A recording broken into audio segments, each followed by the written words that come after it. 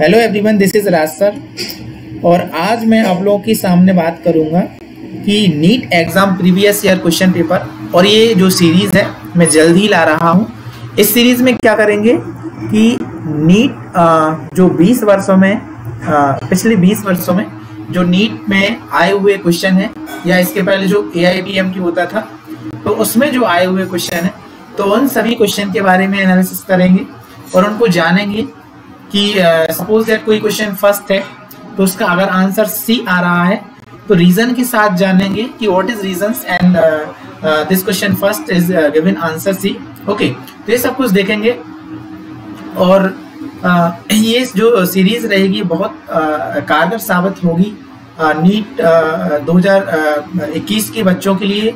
या ऐसे बच्चे जो अभी इलेवन ट्वेल्थ में हैं और फर्दर देन वो आगे फ्यूचर में तैयारी करना चाहते हैं है ना? नीट की तो उन लोगों के लिए भी बेटर रहेगी। तो मैं आशा करता हूँ कि आप हमारे चैनल से जुड़िए और हमारे इस चैनल राज सर फार्मासिस्ट को सब्सक्राइब कीजिए। ओके बेल आइकन को दबाइए ताकि जब भी कोई वीडियो आए तो सबसे पहले आप तक पहुँच सके। Okay thank you